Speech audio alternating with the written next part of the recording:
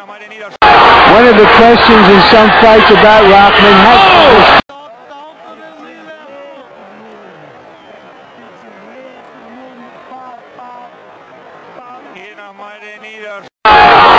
One of the questions in some fights about Rockman has